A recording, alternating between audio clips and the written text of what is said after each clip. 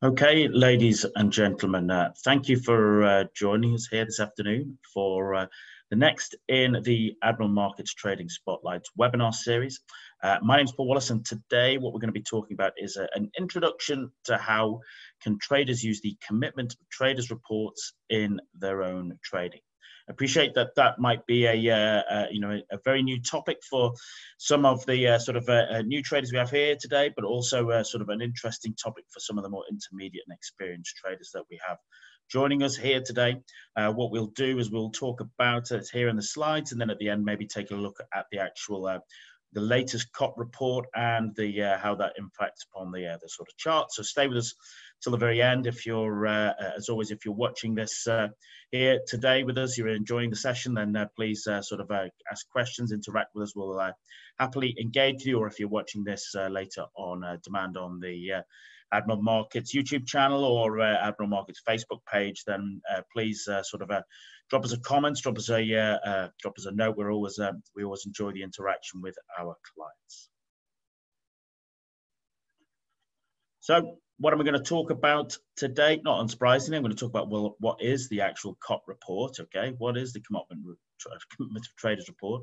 We'll touch a little bit upon how it's uh, it's created, what uh, goes into sort of uh, it being developed, and also about how does it influence markets? How does it influence decision makers uh, who are uh, managing positions within uh, um, within you know sort of the wide range of commodities markets?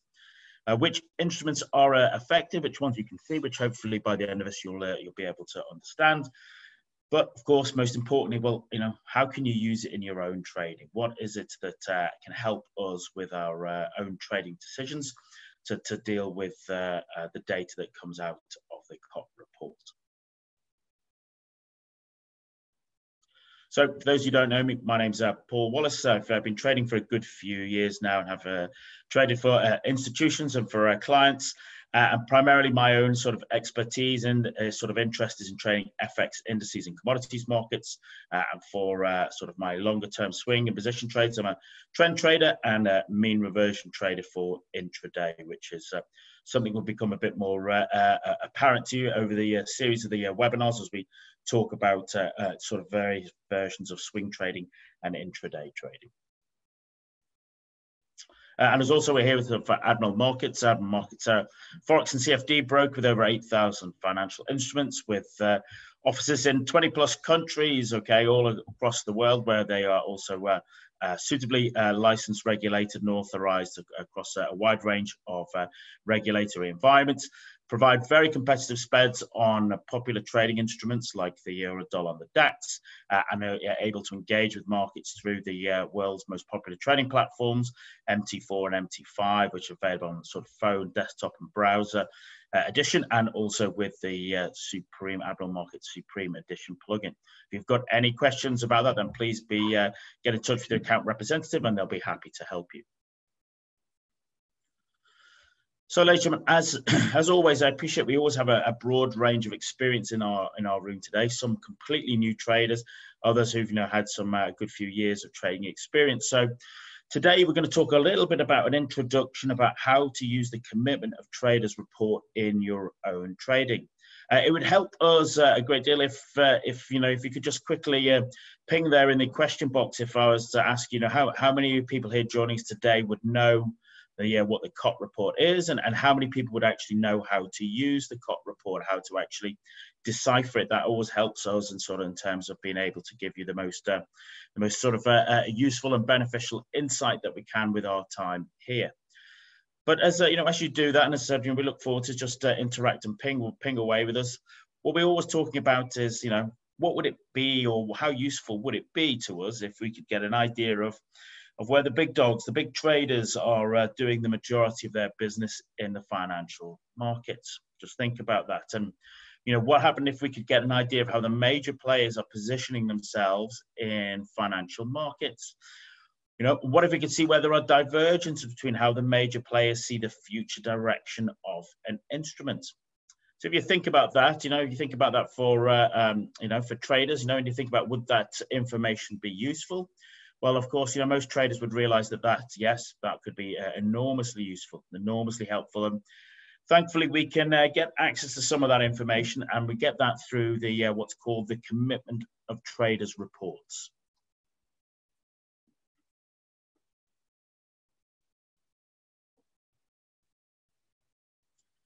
So, you know, what is it? What is the COT report?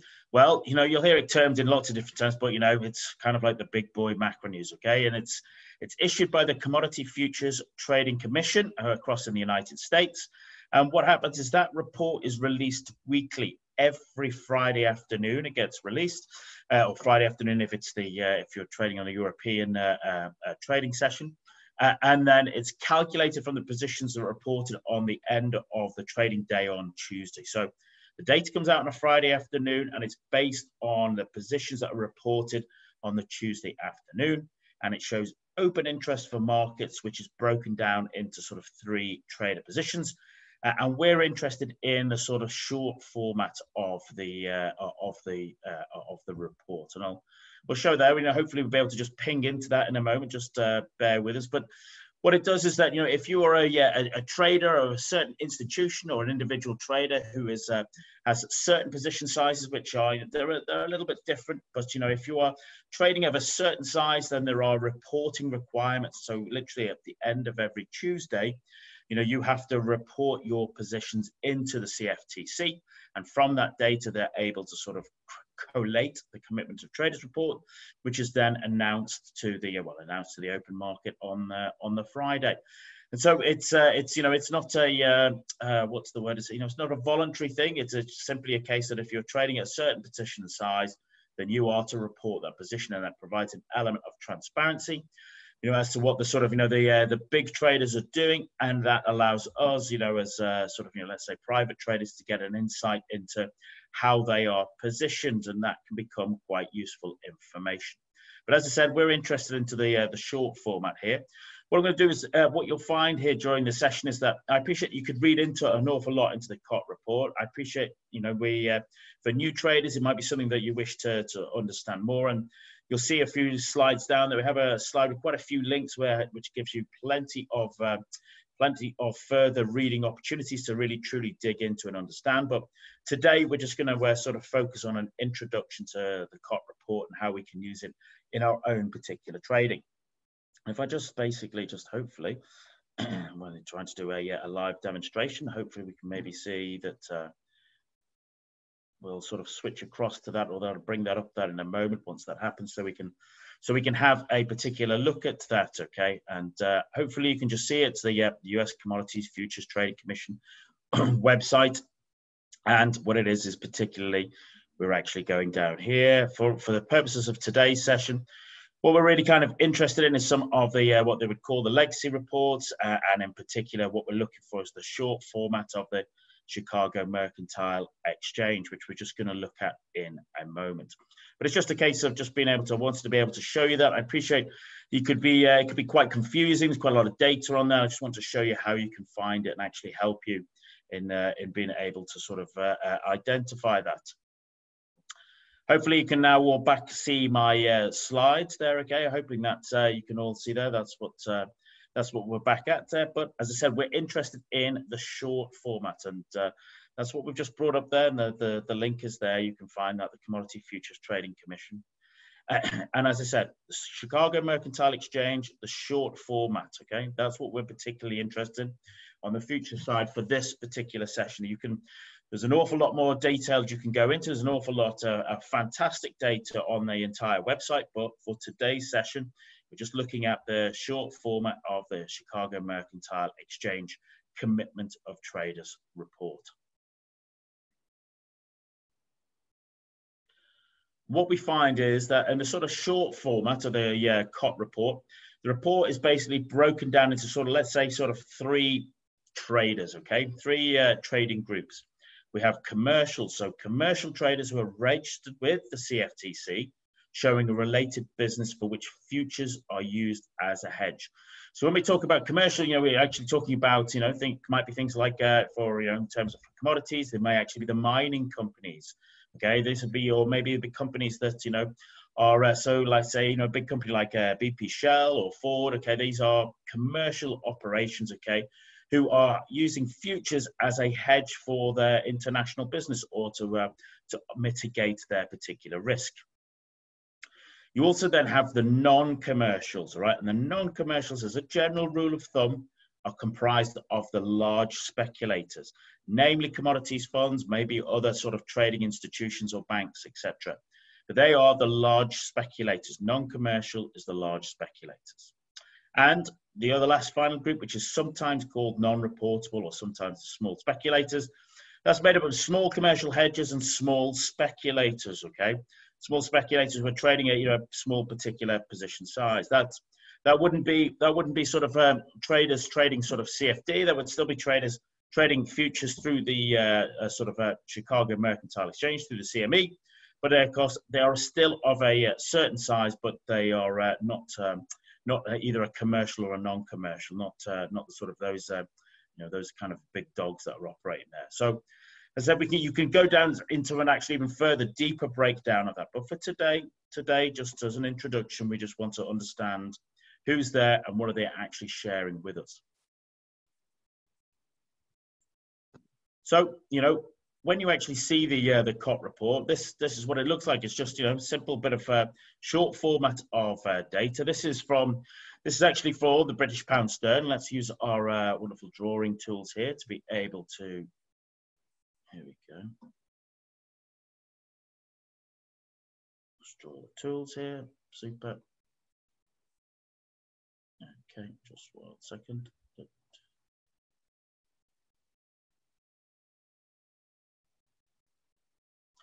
So yeah, so this is, you know, this was the COT report for the British pound sterling, GBP, futures only positions. This was actually sort of uh, April 2016. This was just in the run up to the uh, Brexit debate or the Brexit referendum vote in the United Kingdom. And we can see here we have the, you know, the non-commercials. Okay, remember I was saying that they're the kind of large speculators, the large speculators. Uh, and actually, you know what it says is it tells you the data that each one of the contract, a contract, okay, a full contract in British pound, okay, is sixty-two and a half thousand pounds sterling. And what we can see here is, you know, for the non-commercials, we have the numbers for uh, the longs. Okay, so there were 38,926 contracts long in uh, GBP as opposed to 78,954 non-commercial short contracts. Okay, so we can see that there was almost twice as many short contracts as there were long contracts. On the commercial side, okay, on the commercial side, we can see that there was 193,799 commercial uh, contracts long and 133,000 contracts short. So just remember that with the commercials, okay, the commercials, they are there, they're going about their business, okay, they're doing their normal business, and the futures there are just as a hedge to help them mitigate risk. So the the upside for that is that they are, you know, they understand their uh, industry, they'll understand the um, particular commodity. If you're looking at that, they'll understand it far better than anybody else. The downside is, of course, remember they are just trying to offset their risk. They're trying to hedge their risk. Okay, and that starts to give us little elements of hints about how we can utilize this data to help us with our own trading. And then, as you can see, the other, the non-reportable positions, the small speculators, we can see once again, they were mostly short there, okay? You know, 34,773 short contracts as opposed to 14,295 contracts long. So it's just a little bit of a data there. You know, as I said, we're just going to keep it sort of uh, keep it sort of relatively just uh, a sort of you know just an introduction today because there's a, it's a it's a hugely deep and fascinating subject which you know can provide huge amounts of uh, uh, huge amounts of data, huge amounts of uh, opportunity for traders. But today, you know, here we here at uh, as part of the trading spotlight team at Admiral Markets, we want to be able to give you an introduction so that it uh, it seems less intimidating. I appreciate that for completely new traders, looking at the COT report, looking at the data could be, you know, perhaps a little bit intimidating, perhaps a little bit overwhelming. This is just about being able to sort of provide you with an introduction to sort of help you uh, identify what uh, what it goes, how how it's created, and actually how we can utilize it in our own particular trade.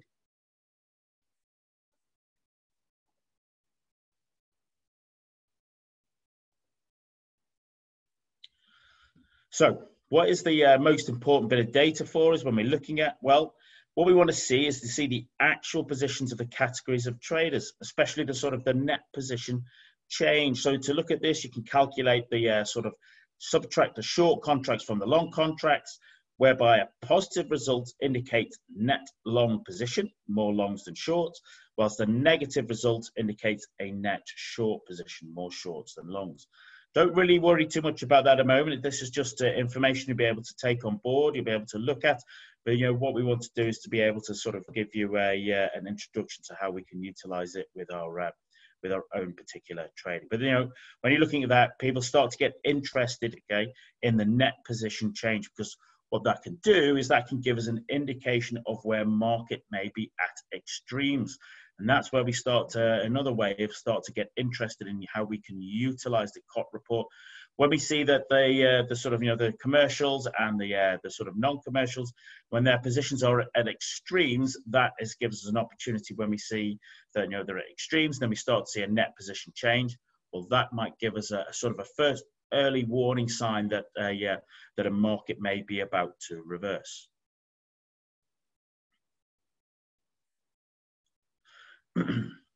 so, as I said there, you know, what many people said the most important thing is the actual change in net positions of the commercial hedges. Why would that be? Is because the commercials are generally believed to have the best fundamental supply and demand information.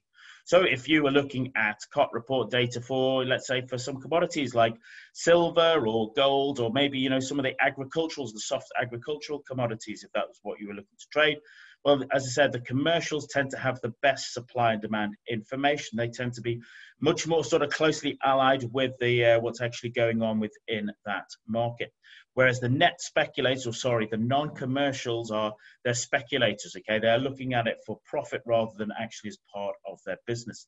And this starts to give us an indication of some divergence between the uh, the two major parties, and we look at how we can utilize that information to help ourselves. So, as I said there, you know, the interesting thing we need to take aboard is that the commercials are not in the market for profit. They are hedging positions. They are transferring their risk to their suppliers. That's what they're looking to achieve. Non-commercials, the major speculators, are not as good as you would have believed, which might be a little bit of a surprise. Remember, the commercials have the best access to information. The non-commercials do not, and they're speculators. And sometimes, sometimes they get it wrong. Okay, sometimes they can be uh, they get it wrong. Not all the time, but sometimes they can get it wrong. And a little tip for you to start to have a look at is perhaps you look at using the non-commercials as a contrarian indicator, which we'll uh, look at in a moment. We'll look at it in a bit more detail in a moment. But as I said, remember the commercials are not in the market for profits. That's what we want to take aboard, whereas the speculators are, which means you know that actually sometimes they can be uh, sometimes they can be very wrong.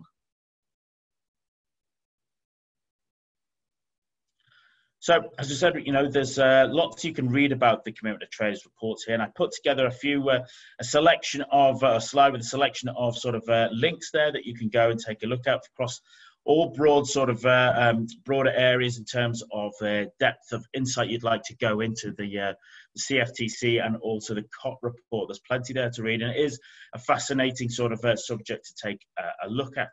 For those of us who are taking longer term tradings, okay, sort of you know swing longer term trades, well then understanding the COT actually becomes very very useful for us it doesn't tend to sort of impact too much on intraday traders, okay? Because you know the intraday trading has its uh, has its own pace and rhythm. But if you're going to be trading longer term swing positions, then having an uh, understanding of the COT report is can be enormously helpful.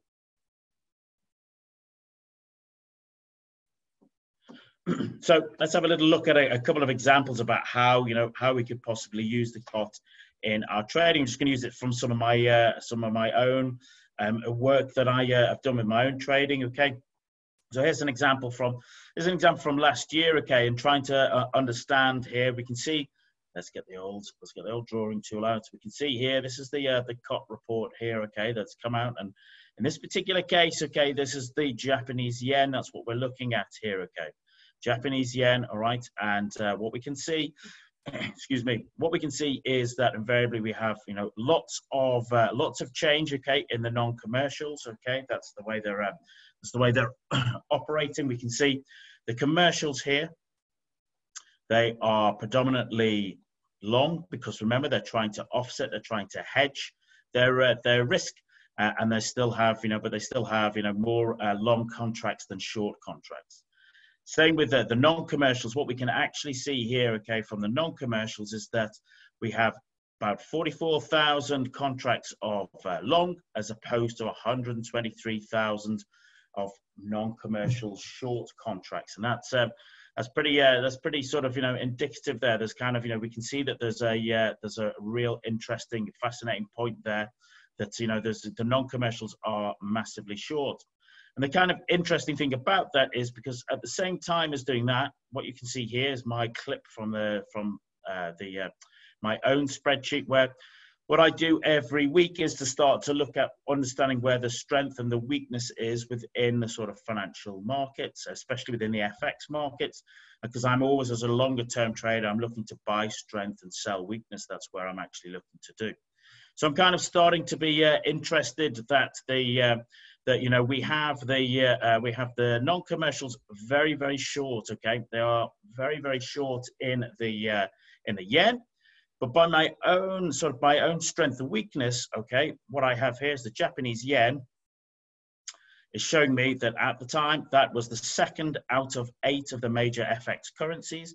So it was very strong. Okay, it was second. Okay, second out of eight. Whereas we can see that you know sterling was at that time number one. Japanese yen was number two and had been strong for about the last sort of four or five weeks. So, you know, there's a, an indication that, you know, the non commercials are short, heavily short, but actually, you know, my own analysis, you know, my strength weaknesses analysis is telling me that actually the Japanese yen is actually quite strong. So I, there's a bit of divergence there between the net commercials all being short and my sort of strength weakness work being long. So that kind of uh, starts to raise my uh, interest here, starts to get a little bit uh, sort of taking some interest in what's going on there and looking at that particular divergence. If at the same time, if at the same time, what we also had a look at the Canadian dollar, all right, the Canadian dollar for the same period. The Canadian dollar for the same period has, if we look at the non-commercials, the non-commercials are predominantly long the Canadian dollar, nearly just under 60,000 contracts long as opposed to 40,000, around approximately 40,000 contracts short. So the non-commercials are long the Canadian dollar and they are short the Japanese yen. But once again, you know, if looking at that same time, looking at my strength weakness analysis, well, hopefully you can see that the Canadian dollar at that time, the Canadian dollar was eight out of eight and had been pretty weak for the last four or five weeks. So it was bottom of the pile. It was eight out of eight, okay, the bottom of the pile. So once again, on one hand, my strength weakness analysis is differing from what the actual sort of uh, COT report is telling me in terms of the non-commercials. But remember what I was saying, okay, is that, you know, one thing you can do is when you see sort of extreme numbers is to sort of use the non-commercials as a bit of a contrarian indicator. So if the non-commercials are, if the non-commercials are short, the, uh, the short the Japanese yen, but long the Canadian dollar, well then we'd have a look at well what is the opposite of that? What is the kind of uh, what is the opposite of that? What's the how could we use that as a contrarian indicator and interestingly, you know, here is the daily chart, okay? The daily chart of the, the CAD yen at that particular time. We have here just the drawing tool. This is the, you know, the, the, the sort of CAD against the Japanese yen. So, you know, with uh, effectively, you know, we can see that was actually a very, very nice trend. There's a very nice downtrend there in the CAD yen on the daily chart, which once I said, it was kind of interesting that, you know, the non-commercials were uh, long the Canadian dollar and they were short the Japanese yen but actually the sort of the price was going in exactly the opposite direction. So there's an interesting thing, as I said, is that you know sometimes the non-commercials, when they're at extreme numbers, we can see that they can be used as very useful contrarian indicators because they uh, they are you know very good, they're very adept, but they're not always as good as they'd like you to think they are. And uh, it's actually, you know, using them as a contrarian indicator can be a way to use the COT report to help you sort of make trading decisions for those of us who like to sort of trade longer term uh, swing and uh, end of day or even sort of, you know, monthly positions. So hopefully that gives you a bit of an example of one way that, you know, using the non-commercials as a contrarian indicator uh, with just some other standard sort of technical analysis, recognizing, you know, that, uh, you know, you can see yourself, there was a nice trend there, okay, and how, how to utilize those divergences to be able to start to build a trading plan of our own. So, um, you know, another sort of a, a example here is a kind of this is the uh, the euro, okay, at that particular time. Let's just uh, draw on here, okay. You know, at that particular time, we saw that the uh, uh the non-commercials, the non-commercials were long to the long to the euro to the tune of 200 and just under 240,000 contracts, as opposed to short 93,000 contracts. Interestingly, the commercials you can see there yourself. The commercials, okay they're effectively short nearly sort of nearly 400,000 contracts of uh, of the euro, okay, as opposed to long 220. But remember, that's what we were saying is a case of just recognizing commercials are not there to make a profit, okay, they're there to basically mitigate risk uh, in their uh, in their particular uh, areas. So we kind of had the excuse me, you know, we had the non-commercials were uh, the non-commercials were very uh, were very long. Okay, the uh, the, the euro, uh, the commercials were quite short. But actually, what we can see is that invariably, you know, the, the euro was starting to weaken. Okay, having been having been number one. Okay, earlier on in the year, it was actually sort of starting to, to weaken away. The euro was actually starting to, to weaken. So, even though the non-commercials are long, we were actually starting to see the uh, the, the, euro weaken considerably across the sort of uh, across the um, uh, the strength strength uh, um, strength matrix for the FX markets.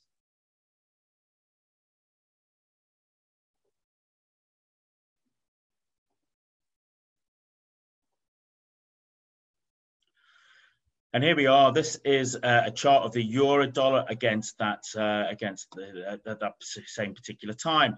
And what I'd actually seen was that you know, yes, the euro had been in a, uh, strong uptrend against the dollar, but what happened is we hit the 125 area and we had you know a sort of a triple top here. Okay, we had a triple top here which ended with a bearish engulfing candle as a key reversal candle and so, you know, it was kind of interesting that, you know, what we started to get after that was that actually price started to make kind of, you know, lower highs. So the uh, the COT report, the non-commercials are you know, massively long, you know, massively long to the tune of 240,000 to the tune of 240,000 contracts nearly.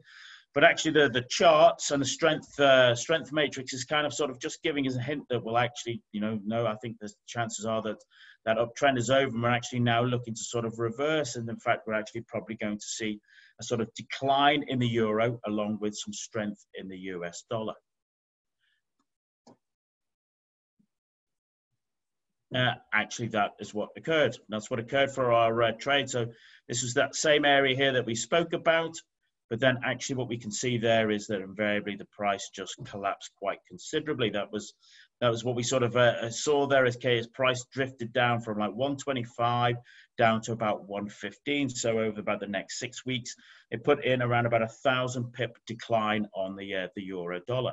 So once again, it's just a case of you know seeing the uh, um, the non-commercials were in extreme positioning and to use that as a contrarian indicator. And once you have a confluence of events, namely you know, the sort of strength matrix giving us another indication, and also just you know looking at our charts and doing some good technical analysis, that allows us to start to position ourselves accordingly to use the COT data to give us an insight into how we could actually look to uh, position ourselves for a good swing to position trade.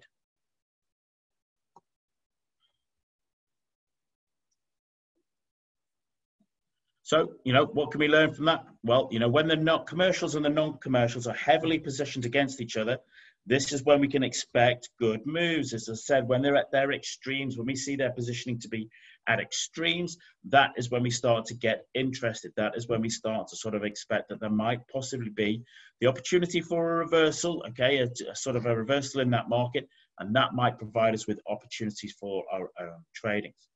Generally, the non-commercials are often wrong, not always, as we'll see, not always. They're not often often wrong when positioning is at its extremes, okay? But not always, but you know, it's a good rule of thumb, okay? It's a good rule of thumb. And this is when we start to get reversals. This is when we start to get good moves beginning, which allows smaller traders, okay, smaller private traders to join possible new trends.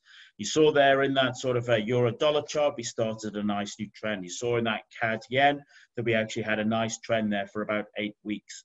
And that's what we're looking to do to be able to see the extreme positioning of the uh, of the of the big guys, okay, the commercials and non-commercials, to enable us to identify possible turning points, which then would allow us to sort of join perhaps possible new trends.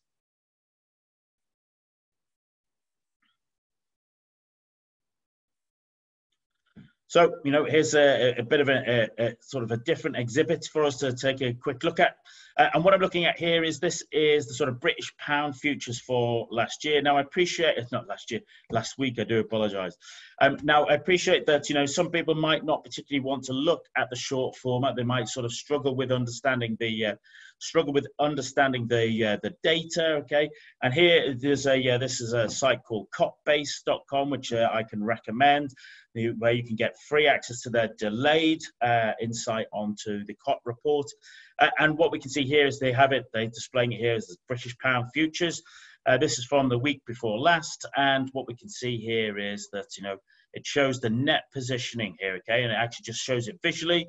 The bright red is the commercials, the sort of bright uh, green is the large speculators. And here we are back here down towards about 120. All right, this is where we hit uh, about the start of this month, start of September.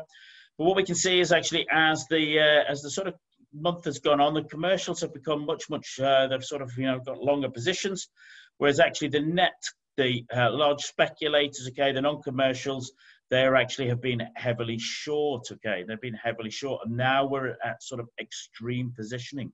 We're at extreme positioning, and remember what I was saying is that you know very often large speculators can be wrong when positions are at their extreme, and so that allows us to give us, you know, it gives us a heads up of a possible opportunity, which is from a, a trade we, we've taken a couple of weeks back. So what we actually had here is just looking at this is uh, from a couple of just a couple of weeks back, where we had this is the British pound once again, British pound sterling. Okay, this is from the uh, start of September, uh, and what we'd seen was that you know, we had seen price in a uh, you know in a very long downtrend. Okay, with lots of uh, fears over Brexit and Boris over the over the summer. But what we could also see is that the non-commercials, the large speculators, were short to the tune of 130,000 contracts, as opposed to 38,000 contracts long. Whereas the commercials, you can see the commercials, they were positioned 207,000, right? 207,000 long contracts against 96,000 short contracts, almost sort of double the uh, double the long side, okay? And uh, double the, yeah, their long side was almost double the size of their short, in fact, more than double their short, uh, short position. And you know, whereas the non-commercials, we can see are you know hugely, heavily, extremely positioned to the short side. But actually, what we saw was, you know, price actually came down to the 120 area. And actually, this is where it put in a double bottom with a false breakout beneath 120 before actually sort of reversing and rallying up. And then for the last couple of weeks, you know, we've actually moved at some point, we moved from about 120 to around about 125.50. So a, a kind of a, a, real swing move there of about 550 pips. So, you know, for uh, most swing traders, they'd be very, very happy to sort of try and uh, capture a piece of that particular move because we see that you know the when uh, you know when markets when when the COT report when the non-commercials are are uh, positioned to the extremes that can be very often when uh, a, you know a sort of a, a flip will happen in the market and we'll basically get a change of trend.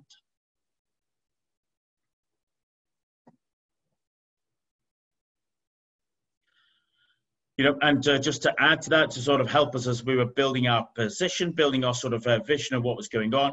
At the same time, okay, what we saw was that you know this was the Euro FX British pound rate, the Euro sterling rate, you know, and what we can see was that you know there's uh, the uh, kind of non-commercials The non-commercials here, okay, were just slightly long, okay, they were just slightly long to the, they had an edge to the long side. But what we can also see is the commercials. The commercials were actually they were sort of almost like double the sort of size of their shorts position as opposed to the non-commercials. And what we've seen, okay, over that last last sort of this month is a really a reversal in the euro sterling rate.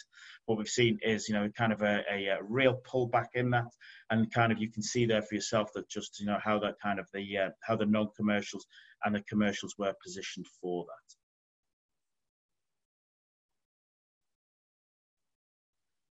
So here's your uh, task from today's session. I always like to set you a little bit of homework, take away, work away. Your task from today's session is go away and look at your favorite trading instrument.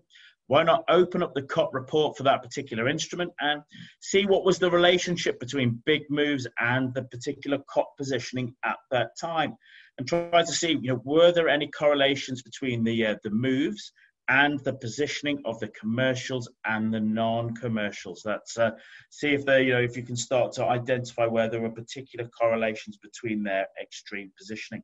Remember, that's what we're looking for, okay, to see when they're uh, when the uh, big boys are at extreme positioning.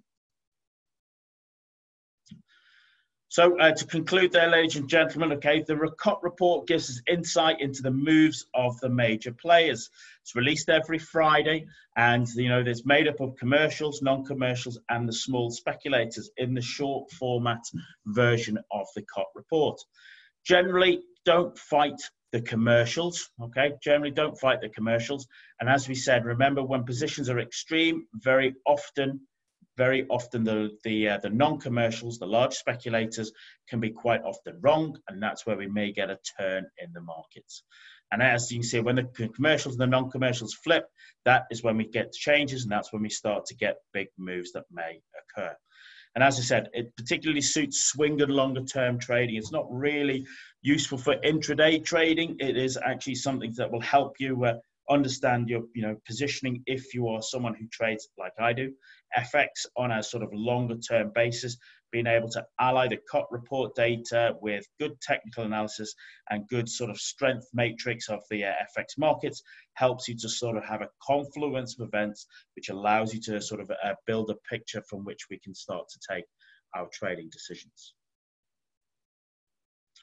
So uh, I hope you've enjoyed that, ladies and gentlemen. But you know, of course, we appreciate you. Uh, people always want more. Uh, they always uh, want to sort of engage with us more. And now you have the opportunity to join the exclusive Trading Spotlight uh, community, uh, and you can find that there. Okay, so you can get support after the webinar when you most need it and you can help you discuss trading strategies, upcoming market events, signals, and more with uh, with other traders.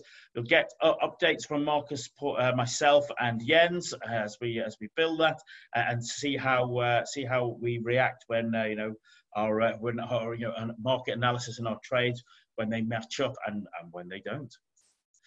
You can get uh, any recordings of any of the webinars that you've missed um, so far, and you know you can sign up for that now. Okay, just register at Traders Yard, then join the Trading Spotlight group, tradersyard.com forward slash group forward slash 312. And for one month only, there's no live account required. If you're on a demo account, then you can, you're very welcome to come and join us now. So don't forget to join us uh, next time, ladies and gentlemen. Okay, as uh, as on Wednesday, we've got Marcus here to effectively learn about how to uh, to get your ego out of the way when trading, uh, including how your ego can affect your trading, how common mistakes that uh, traders make because their ego is egging them on, warning signs of your ego getting in the way, some top tips for ego-free trading. When is that? Well, that's at 2 p.m. this uh, Wednesday, GMT, London time, on uh, October 2nd. You can check your inbox for the uh, webinar link, and you can watch that all on uh, YouTube as well. So, and as I said, please feel free to sort of comment and uh, you know tell us, give us some feedback. We uh, we always really appreciate it. So, as always, you can have more analysis and education at the admiralmarkets.com website. If you're of interest, you can contact us on hello at admiralmarkets.com or youtube.com forward slash admiralmarkets, or you can facebook.com at, at forward slash admiralmarkets global. So there you go, ladies and gentlemen. I hope you found that useful. As I said, it was just an introduction to the commitment of traders reports. There are lots of uh, lots of you know great data there that you're able to sort of uh, uh, utilize and, and, take on board. But today was always just about giving you a little bit of an introduction. And certainly, you, even if you are primarily an intraday trader, I would suggest go away and do the uh, homework that I talked about because I think trying to get an understanding of of how the sort of bigger traders how they position themselves, what goes into uh, what goes into uh, uh, seeing like, like those kind of divergences of markets and seeing when the uh, the sort of commercials and non-commercials are at extreme positioning is is useful, good, basic, solid news, solid um, solid insight for all traders to to to understand. So I hope you found that uh, useful. What I'll do, I think we've got a, I think we've got a moment, just a moment or two, and it's the uh, we're just looking to see that uh, um, you know what we'll do is I'll switch across to the uh, the present report. Okay, we'll just look at it very quickly for a moment or two, just so you can just see how to find it and how it's displayed, uh, and then you know have a, a, take it from there. So if you just bear with me a moment, let's see if we can uh, let's see if we can do that. switch that across. Okay, so as I said, this is the Commodity Futures Trading Commission website, cftc.gov, okay, forward slash market reports, commitment of traders index, okay, just let's just draw that on so people can, uh, people can always uh, uh, see that well, okay, so we can, uh, go. You, you can see the uh, there is the link in there, but if you wish to have the, the website, there you go. You can find it there as well.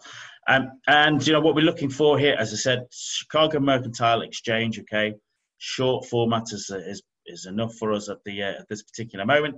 Uh, and you can see it's actually, it's displayed like this, okay, it's nothing, um, it's, it's nothing terribly fancy about it, but you can see lots of uh, commodities there. So you can see there's, there's butter, there's milk, okay, non-fat dry milk, okay, there's uh, lean hogs, there's lots there. But of course, you know, we're just mostly particularly interested in, let's say, FX markets. You can see here Russian ruble, show the positioning. Canadian dollar there, okay. Canadian dollar there, we can see there, okay. You can see what the latest, the latest uh, um, data is, and the kind of the interesting thing is, you know, is also just looking at what were the changes from the previous week, okay. There's clearly a sort of a big change going on there in Canadian dollars, big changes there. That's the sort of thing to sort of make a note of, sort of add that to your particular, uh, uh, to your sort of trading watch list to see, is that an indication that we might see, be seeing a little bit of, uh, we've seen a bit of extreme positioning and we're looking to sort of, uh, um, there might be a change with that. But as I said, you can see the Swiss franc, the Mexican pesos there, British pound, uh, British pound sterling there. Okay, you know, of course, there's lots of people very interested in that due to lots of uh, volatility there. And we can still see that, you know, even now, okay, we are still primarily short. Okay, non-commercials are still primarily short that the uh, British pound by you know 105. You know they're sort of four times more short than they are uh, than they are long, whereas the commercials the commercials are 183,000 contracts long as opposed to 84,000 contracts short. So the commercials are long, Okay, the non-commercials are very, very heavily short still. So that uh, gives us some indication to, to look at. So there you go, ladies and gentlemen. Uh, unfortunately, we sort of run out of time uh, there today, but thank you for joining as always. Okay, I hope you found this particularly useful. And as I said, sometimes it can be a little bit intimidating, you know, to begin with, but take your time and look through it, and you'll enjoy it, and it'll you'll find it uh, the information uh, useful. So, best of uh, luck in your own trading, and I look forward to speaking to you soon. Many thanks.